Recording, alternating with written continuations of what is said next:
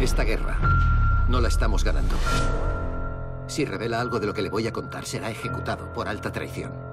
Magnífica. Es la mejor máquina de cifrado de la historia y los alemanes la usan para todas sus comunicaciones. Todos piensan que Enigma es indescifrable. Déjeme intentarlo y lo sabremos con certeza. Señor Turing, ¿sabe cuántos han muerto a causa de ella?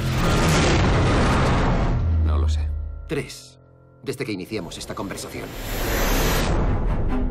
Les presento al señor Turing. Si tuviéramos que trabajar juntos, me temo que estos hombres solo me retrasarían. Era muy popular en el colegio, ¿no? Estamos escasos de personal. Pues pediremos más personal.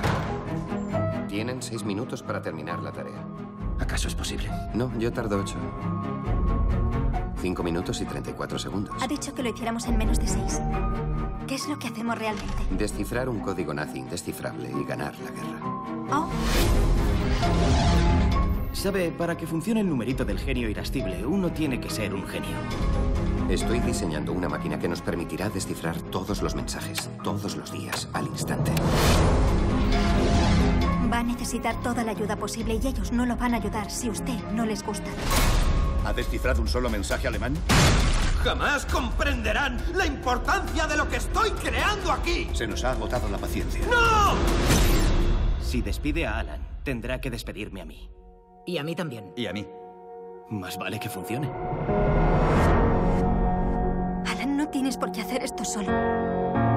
¿Qué están haciendo? ¿Qué, qué- qué ocurre? La Marina piensa que uno de nosotros es espía soviético. Tiene más secretos que el mejor de ellos. Y si ella no me gusta en ese sentido. No puede decírselo a nadie, es ilegal.